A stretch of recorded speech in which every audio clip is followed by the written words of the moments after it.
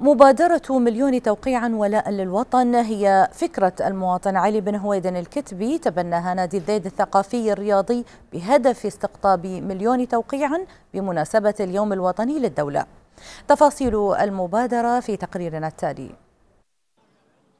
تحت رعاية نادي الذيد الثقافي الرياضي وبالتعاون مع عدة جهات انطلقت مبادرة مليون توقيع ولاء للوطن التي اقترحها المواطن علي بن هويدن الكتبي بمناسبة اليوم الوطني السادس والأربعين لدولة الإمارات العربية المتحدة.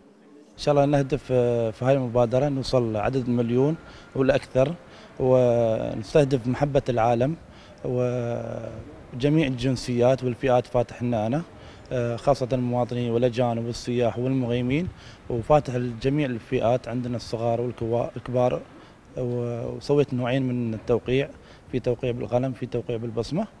إن شاء الله يكون رضا الجميع والمقيمين في الأرض دولة الإمارات. في الحقيقة يسرني آه، ويسرنا كإدارة مستشفى الذيل للمشاركة في هذه المبادرة. تعبيرا عن الولاء والحب للوطن آه، وقيادتنا الرشيدة التي لا تألو جهدا آه، لإسعاد المواطنين.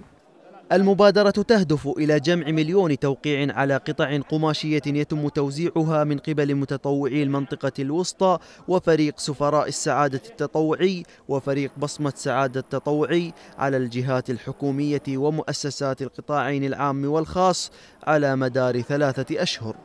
بهالمناسبة هاي طبعا كل الكادر في المستشفى من أطباء وممرضين وعاملين لبينا هذا النداء والواجب اللي نعتبره آه، ضمن واجباتنا وانتمائنا لهذا الوطن العزيز. هذه المبادرة تنطلق من حرص نادي الذيد الثقافي الرياضي على دعم المبادرات الشبابية المجتمعية وإبراز دور المساهمين في جعل اليوم الوطني عرسا جماهيريا يحمل توقيع أبناء وضيوف الإمارات التي قدمت الرعاية لكل قاطنيها.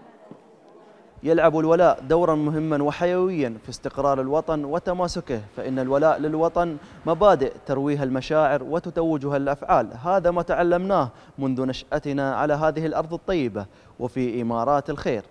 لأخبار الدار سعود الكتبي من المنطقة الوسطى الشارقة.